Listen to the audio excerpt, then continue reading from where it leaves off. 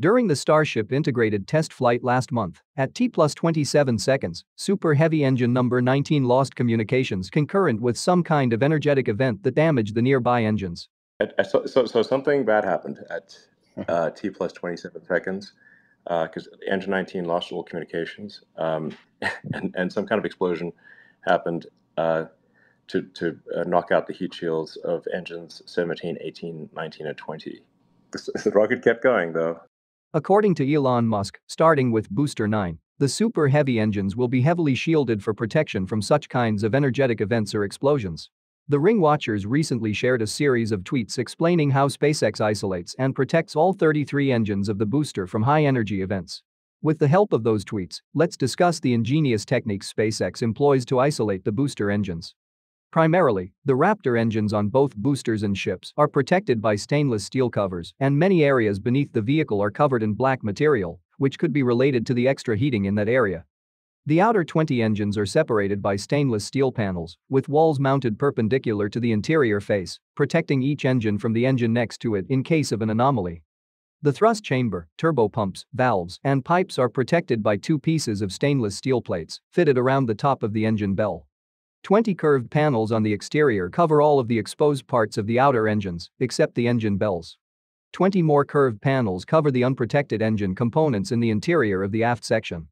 Just like the outer engines, all 13 inner engines have shields fitted around the top of the engine bell. However, they look different from the shields installed on the outer engines. After the inner engines are installed, additional shields are added around the turbopump region to protect against anomalies. Those shields can swivel when the inner engines perform thrust vector control to steer the rocket. Every other exposed area inside the aft section has covering plates that feature the black material layer. These plates protect the pipes, wires, and other components inside the aft section. All the protective shields will ensure that each booster engine is isolated and protected from the engine next to it in case of an anomaly during flight. In this way, even if a couple of the booster engines explode during flight, the remaining engines can continue to propel the rocket into space. Repairs to the orbital launch site and tank farm are quickly progressing at Starbase. Earthwork on the launch mount foundation is underway as damaged rebar, concrete, and dirt are being removed. Once the damages are fixed and the launch pad is back in its original shape, SpaceX will install a sandwich of steel plates and a water deluge system to withstand the energy released by 33 booster engines during liftoff. Let's analyze how this massive water-cooled steel plate system works with the help of graphics designed by Ryan Hansen Space. The system will run water through steel plates installed underneath the orbital launch mount. The top plate has holes through which water will be discharged under the launch mount. Water will cool the metal surface and simultaneously absorb energy from the booster engine plume. In addition, the water released will act as a wall between the plume and the steel to prevent it from heating up to the melting point. Additionally, by releasing the water from the plates, SpaceX can stop worrying about it boiling and causing steam inside the plates. If that were to happen, it could theoretically cause a blowout of the entire system.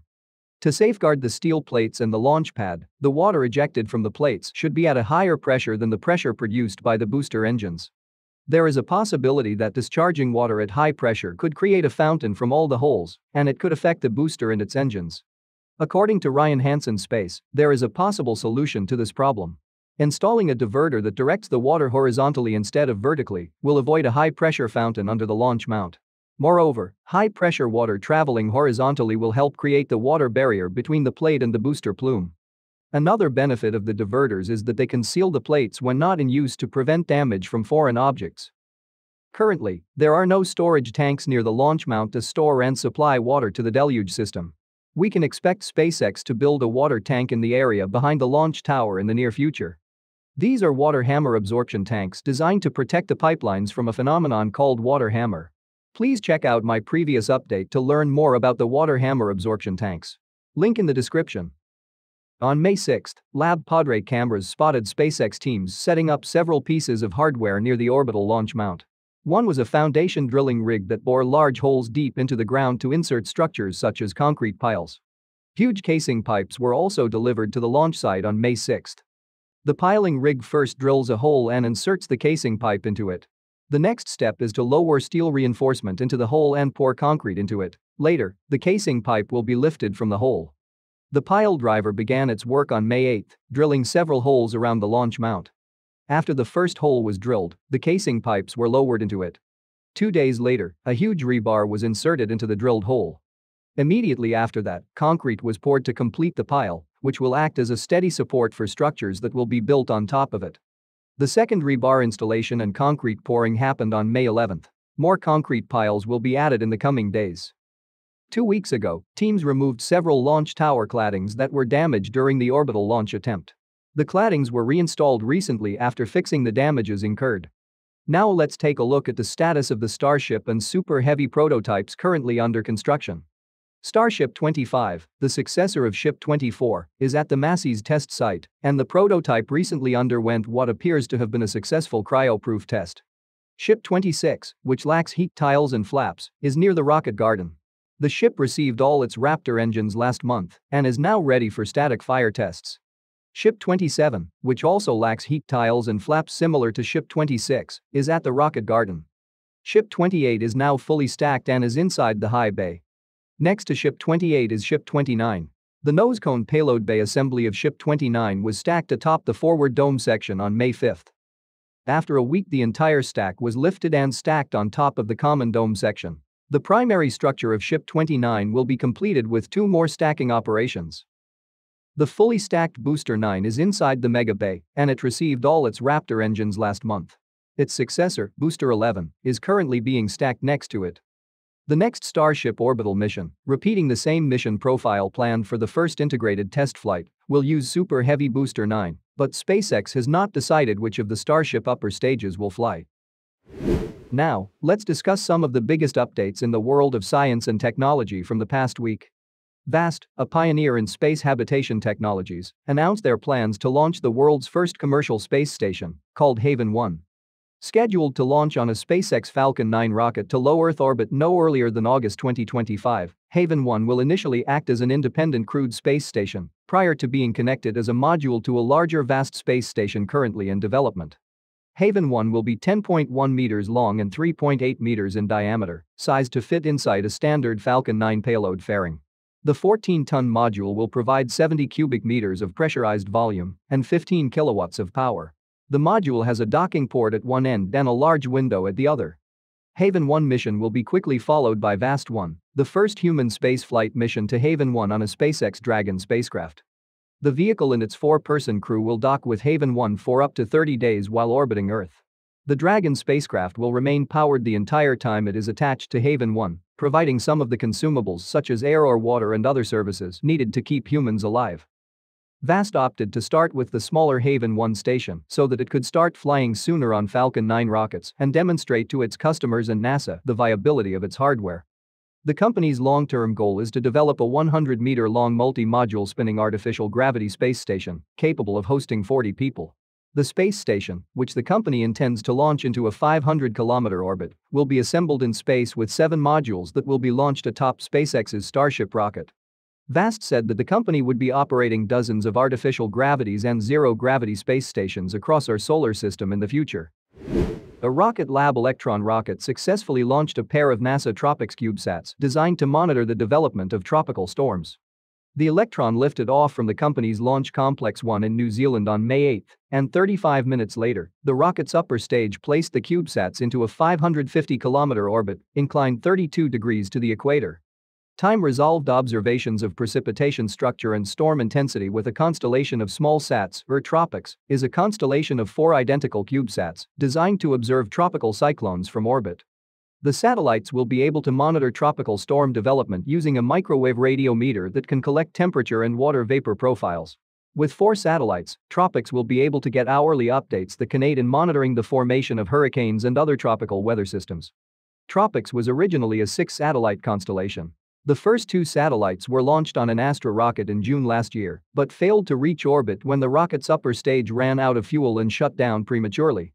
Astra subsequently retired its Rocket 3.3 launch vehicle, forcing NASA to find a new way to launch the remaining four satellites. The agency selected Rocket Lab in November 2022 to launch them on two dedicated Electron missions. If all goes according to plan, Rocket Lab will launch the final two Tropic satellites on May 16. On May 9, Rocket Lab signed a deal with NASA to launch the Starling mission, a multi-CubeSat mission to test and demonstrate autonomous swarm technologies. Spacecraft swarms refer to multiple spacecraft autonomously coordinating their activities to achieve certain goals.